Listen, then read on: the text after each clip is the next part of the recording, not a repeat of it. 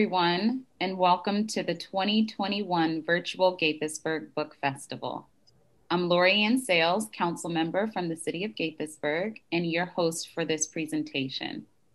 Before we get started, a quick plug to support the authors purchasing their books from our wonderful bookseller partners, Politics and Prose, one of America's premier independent bookstores. We have links to purchase in the presentation description. Given all we've been through over the past year, it's so important to support local jobs and the local economy. I also want to extend a big thank you to our 2021 featured sponsor, David and Michael Blair Family Foundation, for their generous support. Okay, let's get started. Today we have with us four acclaimed poets to discuss poetry's role in social justice throughout history. With works spanning the pre Civil War to the modern era, their latest books grapple with the long road of racism, patriarchy, and other social issues. Raising King by Joseph Ross, in the words of Joseph himself, urges readers to walk beside Dr. Martin Luther King Jr. from Montgomery to Memphis, past police dogs, mobs, and fire hoses, and listen to his thoughts, hopes, and fears. Joseph Ross is the author of four books of poetry, and his poems appear in many publications, including the New York Times Magazine and the Los Angeles Times. He has received multiple Pushcart Prize nominations and won the 2012 Pratt Library Little Patuxent Review Poetry Prize for his poem, If Mamie Till Was the Mother of God. By Broad Potomac Shore, Great Poems from the Early Days of Our Nation's Capital by Kim Roberts is an anthology of poems by both well known and overlooked poets, working and living in the capital from the city's founding in 1800 to 1930. Included are poems by celebrated writers such as Francis Scott Key, Walt Whitman, and Frederick Douglass as well as the work of lesser known poets. Kim Roberts is the author of A Literary Guide to Washington, D.C., Walking in the Footsteps of American Writers, from Francis Scott Key to Zora Neale Hurston, and five books of poems, most recently, The Scientific Method, Political AF, A Rage Collection by Tara Campbell, is a hybrid chapbook of poetry and prose. The collection focuses on topics such as race, corruption, gun violence, police brutality, Confederate monuments, reproductive freedom, and the sexual harassment and abuse of women. Tara Campbell is a writer, teacher, Kimbilio Fellow, and fiction editor at Barrelhouse. She received her MFA from American University. She's the author of the novel Treevolution and three other collections Circe's Bicycle, Midnight at the Organporium, and Cabinet of Wrath, a doll collection. Moderating the discussion between these three powerful poets is E. Ethelbert Miller an award winning literary activist and author of two memoirs and several poetry collections. He hosts the WPFW morning radio show, On the Margin with E. Ethelbert Miller, and hosts and produces The Scholars on UDC TV, which received a 2020 Telly Award. His latest book, If God Invented Baseball, was awarded the 2019 Literary Award for Poetry by the Black Caucus of the American Library Association. As I turn it over to all of you, the only regret I have is that we're not celebrating your work in person here in Gaithersburg. We look forward to doing that next time. So for now, welcome Joseph, Kim, Tara, and Ethelbert. Joseph, Kim, Tara, it's very nice to be with you. Um, Kim, I want to begin with you. Um, we saw January 6th, uh, the attack on our capital. Uh, immediately, and many people made reference to the War 1812. Take us back to 1812 and talk about some of the writers that perhaps if we read today, some of the writers that are in your book, uh, might provide a historical insight into what we just saw happen this year. Yeah, so um, my anthology um, uh, starts with uh, 1800 when DC was uh, founded. And um, a, a, lot of the those early poets, um, you know, I, I, was I was surprised to see how many of them were making political statements, political commentary about um, government and the role of government in our lives. Um, and so I started even from those those earliest poets looking specifically for writers who were bringing up issues that would resonate with us today. Writers who who were writing about war and conflict, uh, about race, gender, uh, economic uh, inequities, cultural differences, um, and um, you know, you you uh, you you will not be surprised to know that um, there there were um, just a number of poets who uh, uh, were actively engaging with the, these political issues. Um, I would say that especially if you're if you're looking at like 1812 and and uh, some of those earlier eras, um, some of the most fascinating poems in the book to me were about um, uh, how the country was uh, uh, wrangling with race uh, and identity, and specifically about slavery and abolition. And DC, um, you, you may or may not be aware, was the center for the internal slave trade uh, in the country. Um, and so it was also a major center for the abolitionist movement. Um, so um,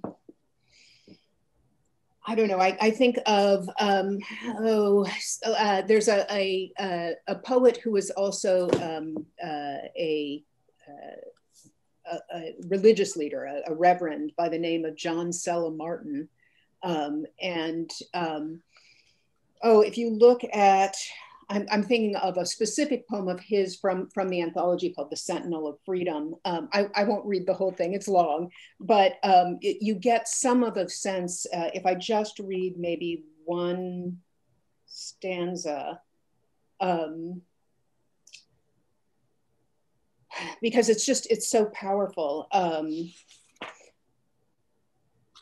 The altars of bondage are blazing with fire. The slave in his chains is its grim sacrifice. The tones of the priest rise higher and higher, but his God, now in conflict, regards not his cries. The merchant in fear brings his gift to the altar. The statesman and jurist bring laws all in vain. The demagogue's accents in doubt, doubt gins to falter, though union is sounded again and again. But all is in vain. The heavens grow thicker with portents of dread to oppression's weak soul. And almighty truth flashes brighter and quicker, while terrific reason in thunders still roll. The earthquake is shattering their prisons to pieces amid the eruptions of volcanic speech, while whirlwinds and torrents in fury increases, though tyrants alternately curse and beseech. Mm-hmm. Thank you, Kim. You know, I, I want to begin with you, Kim, to provide us this historical sort of backdrop. But now I want to um, ask a question, um, have Tara begin it, uh, response first, and but it's for everyone. And, and that is, if you look back, um, and you all have books that appeared in 2020, and I feel that the country changed in 2020, the world changed in 2020. What influence did the Black Lives Matter movement have on your life and as your voice as a writer? And, and have you begun to view this country in a different way. So begin with you, Tara. Yeah, um, actually, the the Black Lives Matter movement introduced some some cognitive dissonance for me in terms of how do I even discuss race, uh, because as a mixed race person, um, you know, I, my skin has is light enough to sort of walk through the world as my white part. Um, and I don't face all of the obstacles that um, you know my black cousins and my darker skinned siblings might face. Um, and so that made me think about how we even talk about these things um, is an obstacle because, you know, people like myself aren't necessarily part of that discussion in that we're both, we're both of these halves that are supposed to be warring. Um, and so I had problems with how do I even start a sentence in this certain context? because I myself am not the one at this particular kind of risk necessarily. So am I we or they in this circumstance? And it made me think about, you know, our language and, and how even the language is a barrier to coming together in this context. So it made me think really deeply about how we even begin to talk about these things. Mm. You know, before I have Joseph respond to it, Tara, why don't you read your poem, The Trouble with Pronouns? Okay. Yeah. I mean, this this poem came about because of this very problem. Um, I mean, I would have conversations and I wouldn't even know how to start my sentence because I didn't know if I should be talking about, you know, we or they in this particular context. So I I wrote my way out of it or through it or into it, if however you care to define that. Um, this is called the trouble with pronouns. But that's exactly why my lips and tongue freeze. Another unarmed black man dead, and I want to be clear, but my pronouns are a mess because I'm mixed race and mixed up, trying to explain in black and white how we and they might bridge the gap. Why do my lips sometimes lack the confidence these lips, speaking out of a light skinned, blue eyed face, lips of a girl who grew up in a mainstream, middle class, two parent home in Alaska, attended a multi ethnic school, and hell, I'll spill it now, watched Gilligan's Island and Get Smart, wore hee haw overalls, and played with Donny and Marie dolls. So, how am I even black enough? Because I have no history with collards or church. I don't feel like a caged bird singing. I actually have the bluest eye, and my dreams are not deferred. They are affirmatively actionable. So, have I actually earned the right to say we? But how could my tongue insist upon meeting my teeth. This code switching tongue, rolling out the right sounds by choice, by setting, by interlocutor. Born in Alaska because that's the only place a Black man could get a job in the 60s. Trying to untangle scholarships from reverse racism in my classmates' comments. I did earn them, didn't I? That one drop coursing through my veins in a too uncomfortable thought for certain boyfriends' mothers spending too many years with rollers in my hair and relaxer in my regimen, smiling at the swaggy black coolness my nephew informs me we share. And how can I not fear for my brother, wearing darker skin than mine in a world where lawmen with guns don't hesitate to say they? My lips and tongue freeze, and the debate rolls on all mixed up in black and white. Thank you, Tara. So, Joseph, um, the question that I'd asked, you know, to Tara is also Kim. I'll get to Kim in a minute. Uh, how has the Black Lives Movement uh, influenced you? Well, it's influenced me a lot, um, and it's influenced my writing, and especially, I would say, it, it influenced um, many of the poems in Raising King. Um, one of the primary, one of the important ways it's influenced me is through, through my students. Uh, I'm a high school teacher here in Washington, D.C.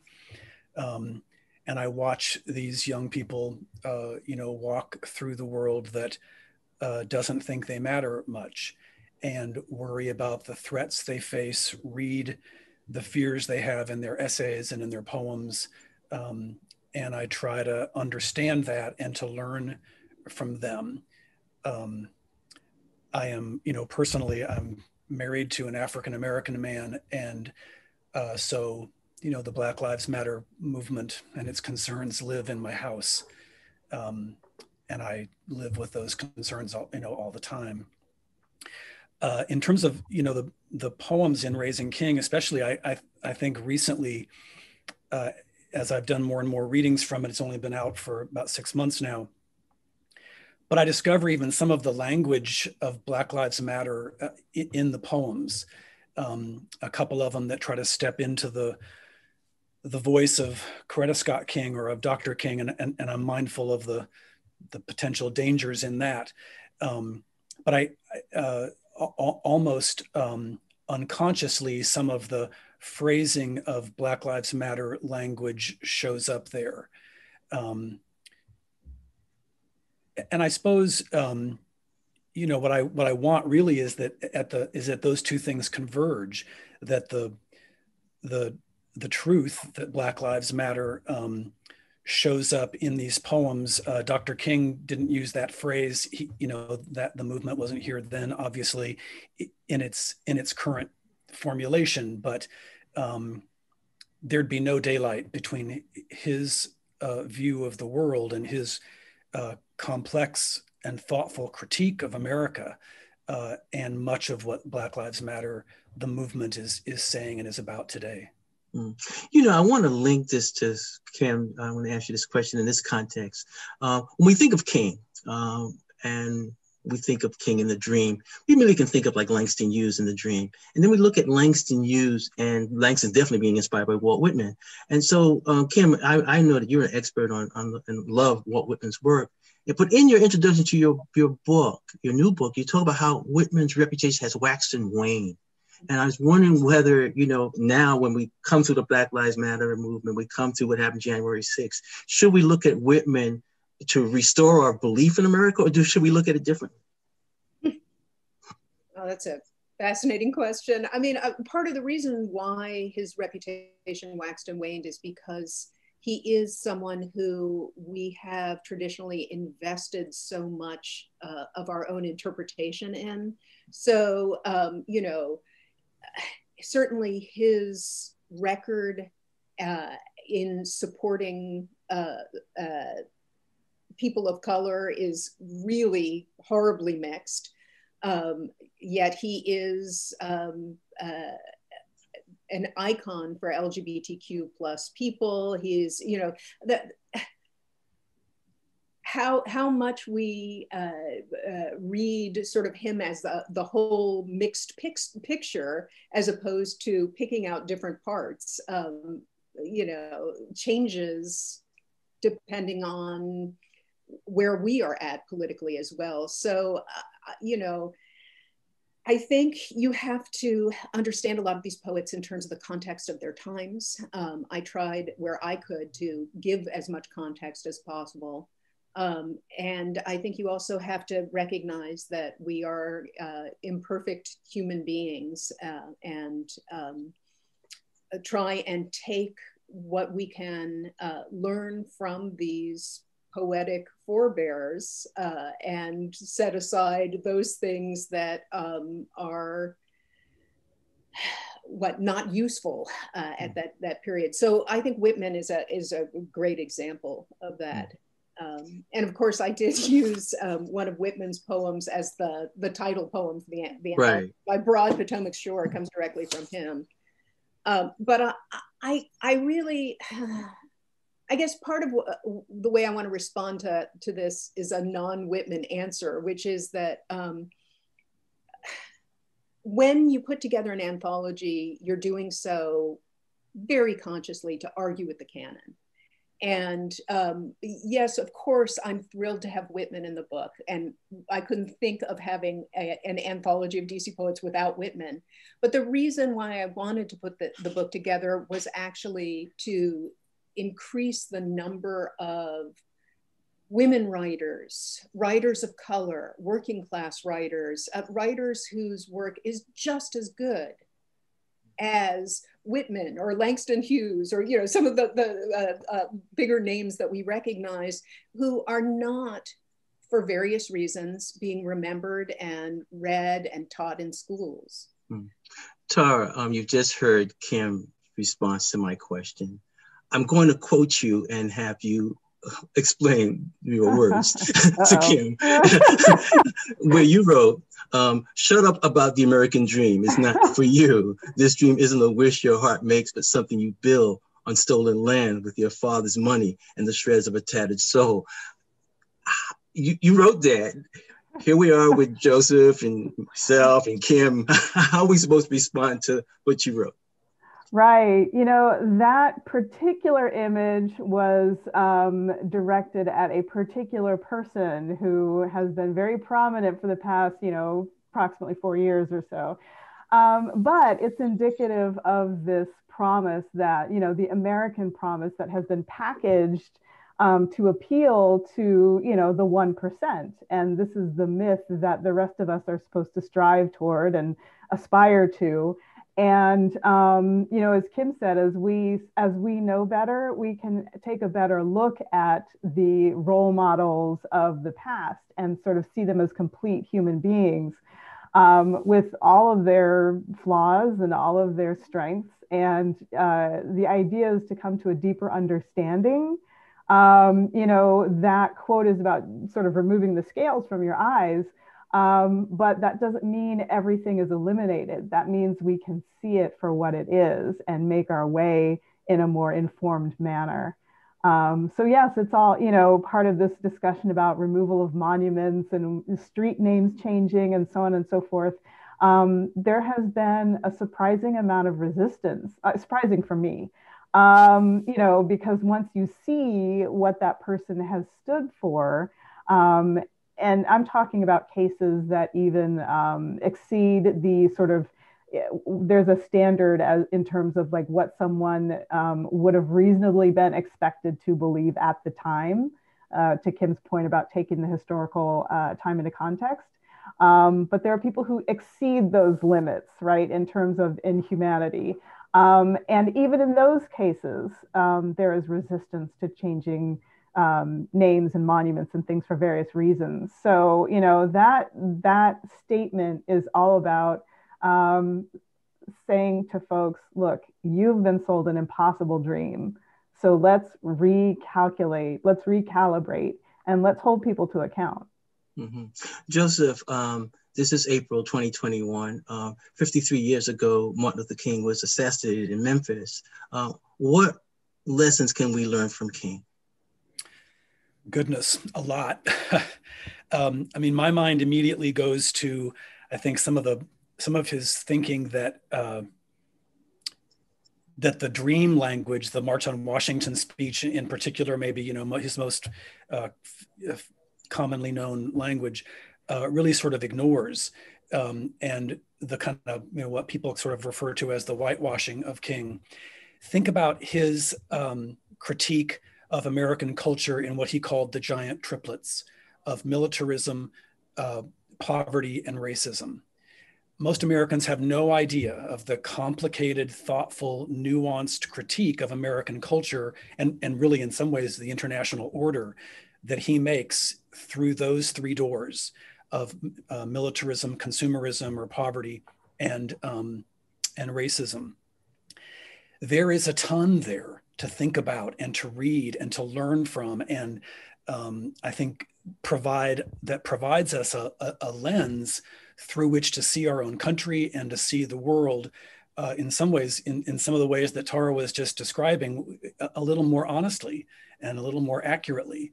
So then we can make uh, better cultural decisions about whose statue we put on a pedestal in the in a circle or who we name a building after um, I've always been struck by this, and I, and I don't know if Dr. King ever wrote this or said this sort of you know explicitly, but you know why we think we can't critique our country and love it at the same time is just maddening to me. It, it seems to me that um, Dr. King had it exactly right that, in fact, loving your country requires a kind of critique and insistence um, to make things better. And that you know the the flip of that is you know some kind of america love it or leave it thing which is which is just is just foolish. It's just anti-intellectual. It's just not thoughtful. And mm-hmm. and and we have to do better than that. Share with us one of your poems from your from your book raising king. Sure. Thank you. Um, well, and one of the poems you had you had suggested maybe I read is a, a short little poem called "It Takes Time." In in Raising King, um, there are three sections that go through that where poems respond to three to excerpts from three of his books. Um, and this poem responds to a, a, something he wrote in Why We Can't Wait, which is about the violence of 1963. It's his, his second book. Dr. King wrote, We made it clear that we would not send anyone out to demonstrate who had not convinced himself and us that he could accept and endure violence without retaliating. And so this poem is called It Takes Time. It takes time to learn this. It must be proven in the light of day that you will look him in the hand and love his fist to death. So, at the heart of Dr. King's teaching and at the heart of his Christian faith uh, is this deep deep belief in nonviolence, mm. um, and I, I, I hope I think that comes through in the in the bulk of the poems in Raising King. Not that everything is about nonviolence; he was about more than that, but that was his method. I mean, he deeply believed that that was um, going to be the most effective method uh, for change uh, for oppressed people.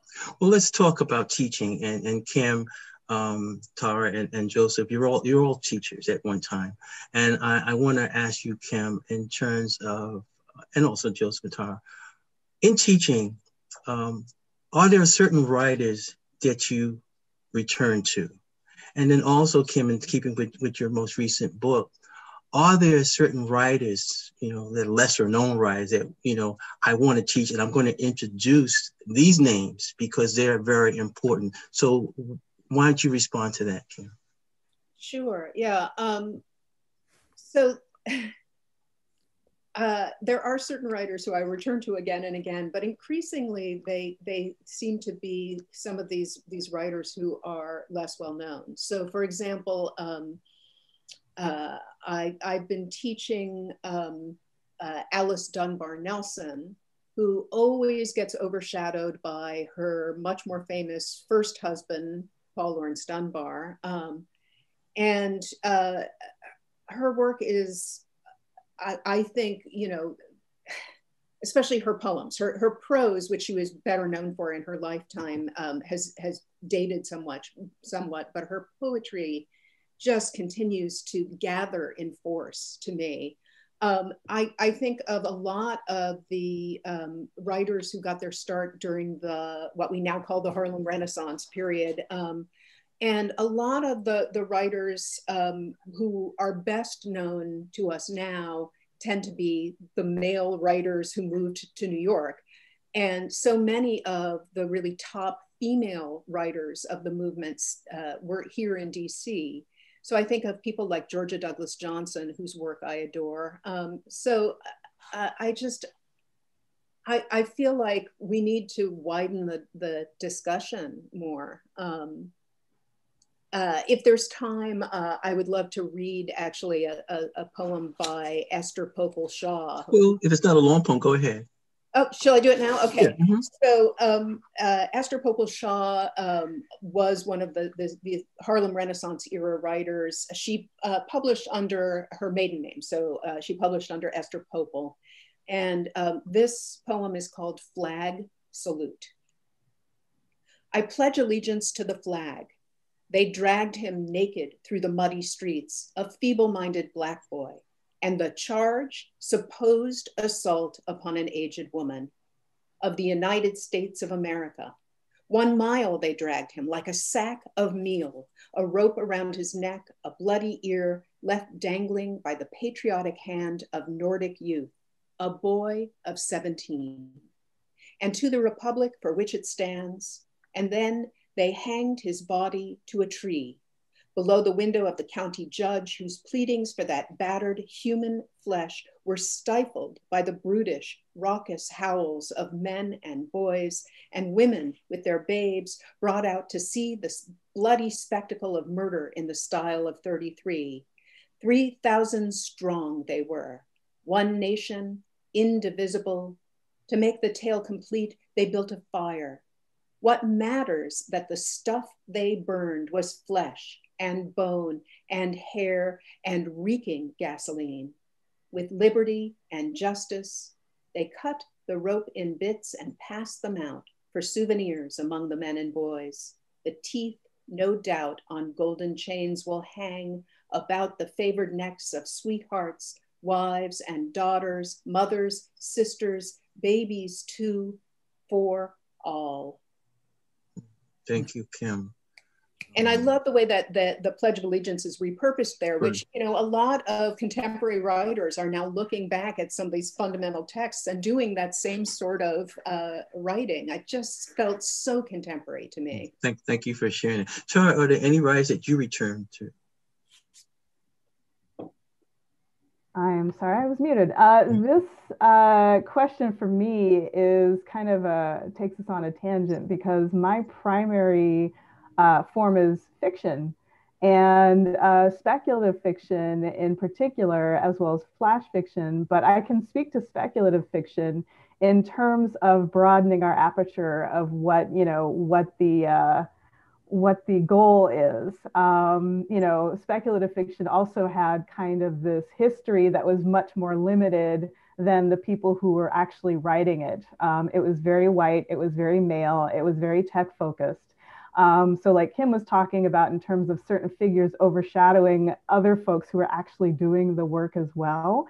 Um, I always like to uh, let people know that W.E.B. Du Bois was writing speculative fiction as well. Um, and that can be the face of sci fi as well. So um, the writers that I come back to are kind of making this case by not making it explicitly necessarily, just but they're making the case by existing. Um, one writer whose work I love to feature is Rion Amilcar Scott. Um, he is sort of playing at the edges of literary and fantastical fiction unapologetically, um, unabashedly blackly, you know, and he has created a whole town um, to play in in terms of his fiction. So I always find myself coming back to his stories again and again. Mm-hmm. What about you, Joseph? Well, for the last several years, I've been teaching American literature and given a lot of freedom. So, um, kind of built the course around Frederick Douglass, who, in some ways, you know, I've discovered in the last 20 years, which is absurd, of course, but, um, you know, I grew up, no teacher or professor ever said the name Frederick Douglass or Harriet Tubman in a classroom or Langston Hughes until I was an undergraduate. Um, so, you know, we do a lot of Frederick Douglass, um, uh, reading his the narrative, um, reading several of his speeches, I was happy to see that in, in Kim's book, one of his poems is there because he's certainly not known for for poems. Um, uh, I love to in, introduce students to a, a, poet named George Moses Horton. Uh, his his poetry is is amazing. It's very uh, 19th century, you know, four line stanzas, um, but it's also very clear and crisp about his experience as an enslaved person. His biography uh, is the most distinctive thing um, in American Lit, I think that students will experience. He uh, used to drive a vegetable wagon from the plantation to the newly founded University of North Carolina Chapel Hill on Sundays to sell the master's vegetables. Eventually, he uh, began writing poems for, for students' girlfriends, uh, stu- for UNC uh, students to give their girlfriends as, as, he would talk with them and they'd realize he was a poet, became friends with a faculty uh, professor's wife who helped him to get his first couple of books published. He eventually asks the master if he can live in Chapel Hill and work on his poems. And the slave owner um, agrees as long as he pays a certain amount of money a day, which he does and so he lives um, until emancipation off the plantation, like off campus, sort of. It's just the most amazing story. Unfortunately, he's not freed until emancipation, um, when he, I think, goes to Philadelphia and, and marries and has children. And, and we end up with, I think, three of his, three books of his poems. Uh, so um, amazing. And then I always return to um, the poems of Lucille Clifton, uh, especially at the end of a chronological survey of American lit. Um, because you just she, said something, Joseph, that I, I have to retain. Uh, when you said off campus, off plantation, I need to remember that. just a joke. but I mean, you know, uh, on a serious note, uh, and this is very important, we are talking right now, having this conversation, you know, about U.S. history, social injustice, Black Lives Matter movement. But while we're having this discussion, um, the major concern, um, I think, right now in our country is the attacks against Asian Americans. Uh, and I've seen some people say, okay, well, you know, we need to know more about Asian Americans, you know, South, you know, Koreans and Japanese. In your own work, and as teacher, and, and, and also in terms of doing research, uh, how much are you uh, highlighting the work of Asian American writers? I'll begin with you, Kim. I, I begin with you, Kim, but I'll tell you why I begin with you, Kim, because when we go, when I go back, and, and, this is why I have so much admiration for you. Uh, when I was trying to create historically pro, uh, creative writing programs at historically black colleges, uh, you were one of the first person, the first person that said that's a great idea. I always saw you working in communities, uh, and, and even like the work you're sharing with us today, where doing the hard, like archaeological work and digging. Uh, and I just was wondering, you know, um, would you become like a model for us doing this type of work for Asian American writers? What has been their contributions to American literature? Well, yeah, I, I mean, it, it, it, points out uh, so much about the inequities of the publishing industry. Um, I do not include a single Asian American poet in my uh, anthology because in that period, those early eras that I'm looking at, um, publishing was really not open to to uh, Asian Americans in a way that um, would encourage people who are writing to try and share their work in a more public way. Um, so while I include a couple of um, uh, American Indian writers um, in, in, in my survey, there are no Asian Americans. However, that doesn't go, that does not mean that Asian Americans were not actively writing. Um, they just were not uh, publishing in mainstream newspapers and journals and uh, single author books. And I think that um, knowing that, that, that sort of history and having that foundation behind you is just crucial work. So I, I think that you have an excellent point that we need to start looking at specific communities uh, and and and sort of doing that that research, doing that, uh, building on that, um, and um, uh, certainly in my own teaching, I uh, teach a lot of more contemporary Asian American writers whose work I love, um, and you know I would uh, specifically, if, if people are looking at a, a, place to start, I would suggest Kimiko Hahn and Marilyn Chin in particular.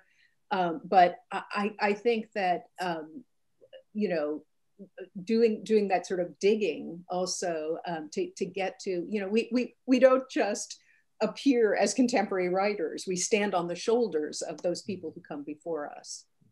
Did you want to comment, Tara or, or Joseph, on, on my last question? Yeah, um, I, I have to say my approach has been more um, holistic, like whole picture, and I have not yet focused specifically on um, Asian and Asian American authors. Um, but one thing I do like to do when I teach my science fiction classes is focus on texts of writers of color and, and women. Um, and a good resource for that I have found, I'll just mention two books, uh, New Suns, is an anthology uh, edited by Nisi Shawl, and uh, it focuses spe- specifically on speculative fiction by writers of color. Um, and then there's also the Best American Science Fiction and Fantasy series, um, and that's an annual series since 2015. Uh, and that was also started as um, an answer to certain groups of people trying to keep the field very white and very male and voting down authors of color and women in awards, uh, in the Hugo Awards. So this uh, anthology uh, uh, series uh, really sort of has an eye to uh, you know, making or to elevating the work of women and people of color. And so those are two sources that I draw upon and specifically go through and sort of make sure, you know, like try try to be representative in my classes in terms of what work I put in front of students. Thank you, Joseph. Well, I underline your the, the concern, and I and it's um, it it for me as a as a high school teacher, it ties into some of what Kim was saying about who shows up, who, who gets published where, and and what anthologies will include, you know, what writers. Um, I mean, in the American Lit classes that I teach, we certainly have we have taught Kimiko Hahn and um, Maxine Hong Kingston, uh, especially, but that's not enough. Um, and now there's a, a, a novelist whose name is falling out of my head, a Japanese American novelist uh, who wrote um, uh, Convenience Store Woman, actually a Japanese novelist, not Japanese American uh, and I don't remember her name, but the the book is amazing. So. Um, I have been limited, I'd say, in some ways with who shows up in the in the anthologies, and it's it's recent. I mean, even you know, a, a, a body of anthologies as big as something like Norton, um, to have choices of Asian American authors in the American Lit anthology is very recent, like in the last ten years. Um, so we have to do better. I have to do better at that. Well, you know, my, my last question um, to all all of you would be something that's tied in with, with, with Langston's work. And that is, you know, we're talking about social issues, social justice. Um, if you could dream a world, what kind of world would you dream? I'll begin with you, Kim. What do you feel is essential in terms of if we were talking about, you know, um, moving to Mars? what, should, what should we make sure we take with us and maybe get it right this time? Well, I, I, I guess I, I would go back to the importance of hearing just the widest range of voices. Um, that we need literature for, for two reasons. Uh, we need literature that exposes us to things that are outside of our own experience. Uh, and take us to, to, to new worlds. And we also need literature that reflects our experience. And mm-hmm. if our literature only reflects the experience of a tiny segment of the American population, then we have failed.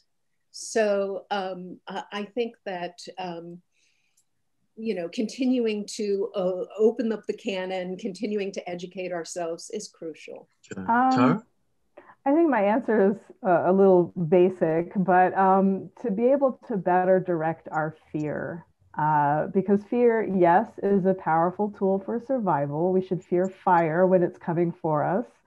Um, but we shouldn't fear folks for looking different or acting differently or, you know, um, any of the reasons we have been told that we should fear people. So if we could better direct our fear toward truly productive, uh, you know, things that we do need to look out for to survive, I think that would be a, a root cause.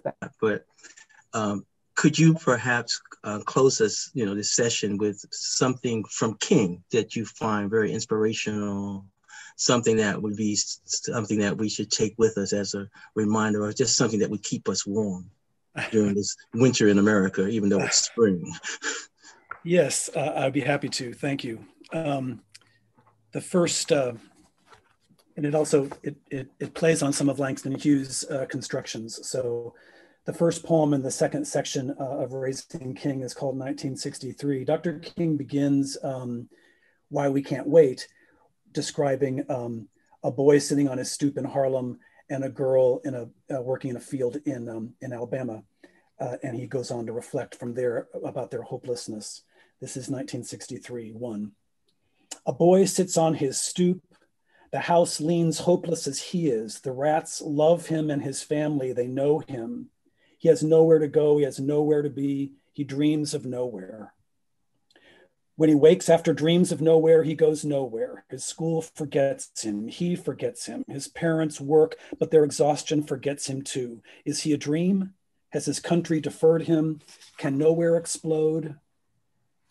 Two, a girl sits on her stoop, the wood of her home older than her grandmother, but not as sturdy. The field where her parents work is thirsty as she is, but not as angry. She sits and remembers school, but learns now in a field because debts are loud. They shout more fury than books. Three, this is the year. Young people will sing fury in a melody that hurts, in a rhythm that burns, a flame so hot, fire hoses shove these singers against walls, but those hoses and their water their judges, their county clerks, their governor, and their country cannot extinguish anything. Well, Joseph, um, Tara, and Kim, I want to I want to thank you. Um, I guess I would close out by saying we go from why can't we wait to why are we still waiting, uh, and I would hope that as we, you know, people pick up your work, that you provide a path to the future, which will be filled with light and joy. So thank you all for being here at this festival. Thank you. Thank you. Thank you, Joseph, Kim, Tara, and Ethelbert. That was a really interesting conversation. And as we're having the uncomfortable conversations about dismantling systemic racism and devising plans to center racial equity here in the city of Gaithersburg, um, I just want to uh, go back to uh, something that Joseph said that really stood out. Um, you know, we're living in a very challenging time, and you can still love your country and criticize it at the same time because you know there are better ways to not only govern but navigate um, in this just towards a more just society. So I really enjoyed this discussion. Uh, thank you all so much for being here with us. Thank you. I'd also like to thank all of our participants, attendees for joining us for this presentation. We have an amazing lineup of programs for both adults and children throughout the month of May. You don't want to miss any of it please go to our website, uh, gaithersburgbookfestival.org, and look over the schedule so you can plan your festival for the month. Before you go, uh, we also have a special message for you from the amazing author and bookstore owner, Ann Patchett. Enjoy, everyone. I'm Ann Patchett here at Parnassus Books with my dog Sparky, and I want to tell you the importance of supporting your local independent bookstore, Politics and Prose. They are a remarkable partner with this book festival. Now, when a book festival is live, it's really easy. You just go to the table and you buy your book and then you go to the event. But when a book festival is virtual, it gets a little trickier because you're home and you might think, well, you know, I'll just buy the book on Amazon. So I'm here to tell you don't buy the book on Amazon. For one thing, Jeff Bezos has enough money, right? He's trying to colonize the moon or something. Uh, he doesn't need anything that you've got. Politics and Prose, on the other hand, they're your local independent bookstore and you love them and they bring you so many events. They work harder than any bookstore I know in their community. And if you want them to be there alive and healthy and well when all this is over, you actually need to support them. They are the people that are putting a tax base in your community, okay? So you have teachers and police officers and firefighters, and when you pay a couple dollars more for a book, you're creating jobs in your community. So Enjoy your book festival, support politics and prose. Remember, Ann Patchett and Sparky think it's the thing to do. Shop local. Thank you.